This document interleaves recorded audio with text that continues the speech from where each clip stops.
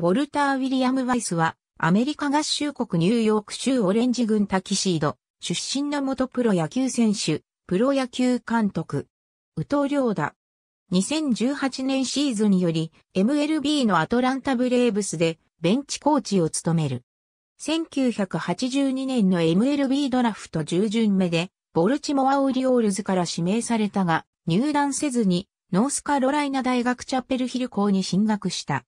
アスレチックスでの現役時代1985年の MLB ドラフト1巡目でオークランドアスレチックスから指名され、プロ入り。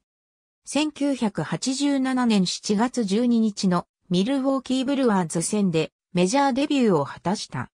1988年には遊撃のレギュラーとなり、新人王を獲得した。ホセカンセコ、マーク・マグワイアに続いて3年連続のアスレチックスからの新人王受賞となった。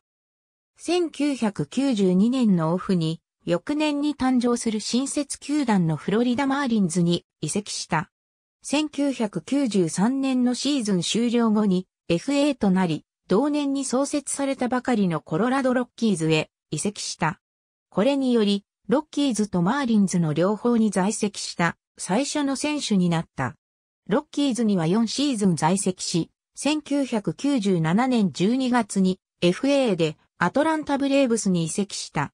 1998年には初のオールスター選出を果たしている。2000年はラファエル・ファーカルの台頭で出番が減り、この年限りで現役を引退した。2012年11月7日、ロッキーズの監督に就任した。2016年10月3日に解任が発表された。